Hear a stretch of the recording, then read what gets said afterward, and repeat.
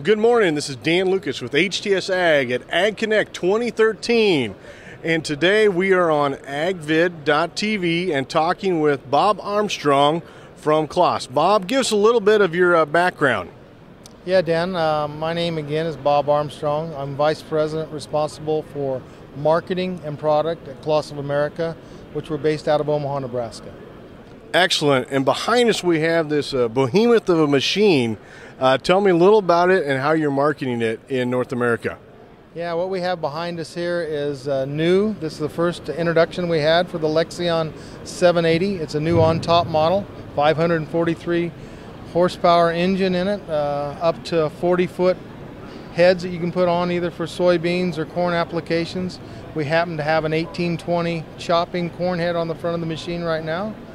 And some of the unique things that we know that the Lexion is set apart from our competitors is the fact of the mobile track system behind us. So tracks has been something that we've developed at Claas for many years and is a, a real feature that's enjoyed by our customer, not only for wet applications, but for ground stability and compaction. That is correct. We talk about 40 foot heads and all the capacities of new machines. What is the, the targeted acres or producer that you're looking for? Well, we offer a full range of machines. This obviously is our top of the line, so uh, a class 10 machine, but we all go all the way down, if you would, to a class 6 machine.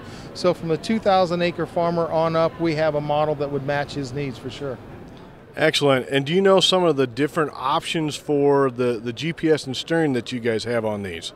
Yeah, we approach the uh, the steering as well as a mapping with a, a, little bit of an open insight to it, so that uh, we have Ag Leader available on, on the machine, factory fitted. Uh, Trimble can also be added to our to our machine for the mapping and the steering side. We also have different components with, encompassed with what we call our Easy system, and that Easy not only is the telematics, the GPS, and the different things, but some of the mechanical components that make the whole machine easier and more efficient to operate. Absolutely. Well, this is Dan Lucas from HTS Ag, and this is AgVid TV with Bob Armstrong from Claas.